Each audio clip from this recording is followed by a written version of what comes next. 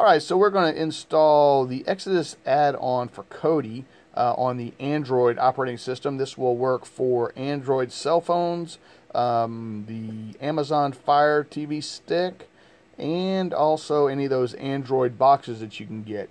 Um, very, very simple, not much to it. Uh, Exodus is my favorite add-on uh, to watch movies and TV shows.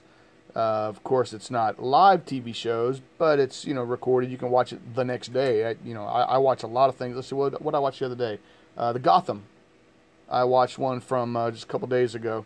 So yeah, works great. So let's go ahead and install that. First thing you want to do, of course, is add the URL for Kodi to find uh, where the add-on files are located. So we're going to go to over here to System.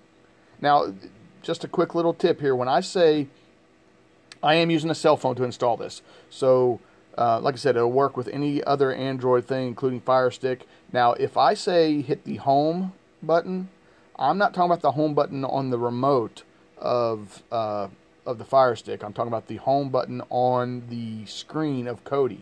Makes a difference because if you hit the home button on the remote for Android or for the uh, Fire Stick, it'll take you to home of the Amazon Fire Stick, not of Kodi. So please, please be aware of that. So anyway, here we go.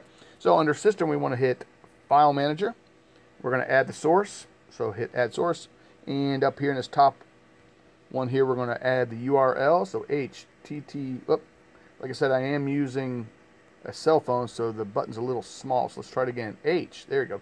HTTP colon, uh, where we at? Forward slash, forward slash, and it is under Fusion. Dot TV add ons dot ag. Let me make sure I spelled it correctly. I believe I did. Let's hit done.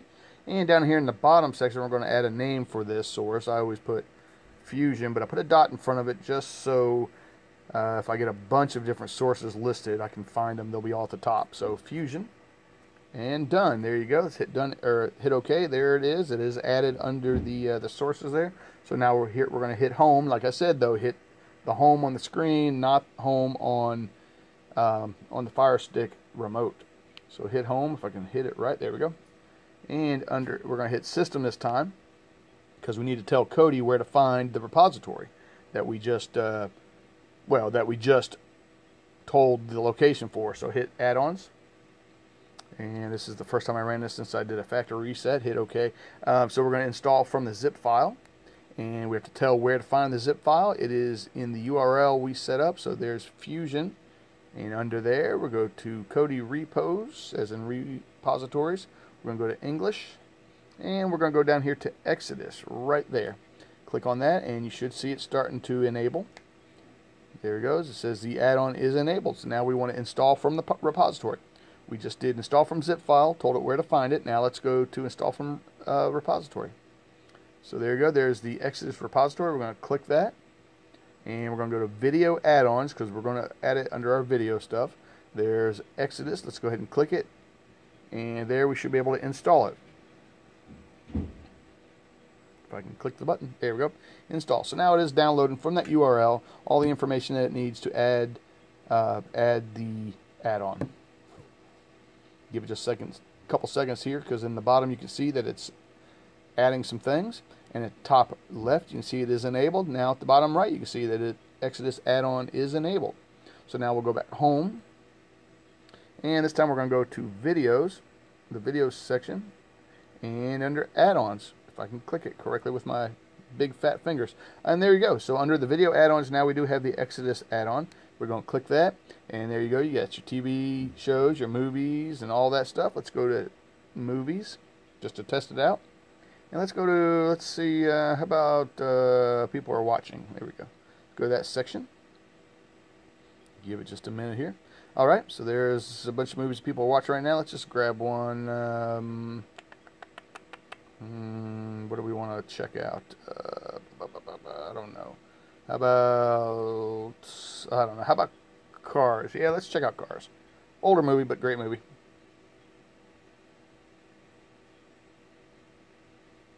Now, while this is uh, happening here, what I'll tell you what's what's happening is it is searching all the different sources for this movie. Um, now, in the settings of Exodus, it has a 30 second, I think 30 second timeout. So once it finds all the providers, as you can see, it says remote. Uh, it's got all the providers down there, but it's still going. 25, 26. It is, does take 30 seconds. You can change that if you want. You can go into the settings and change that to a smaller uh, amount. That way, it doesn't take forever. Um, I like to set it to maybe 15. So you know it'll go searching for sources, but after about 15 seconds, it'll stop doing it. It takes forever sometimes. But anyway, so let's go ahead and pick. Let's just pick the top one.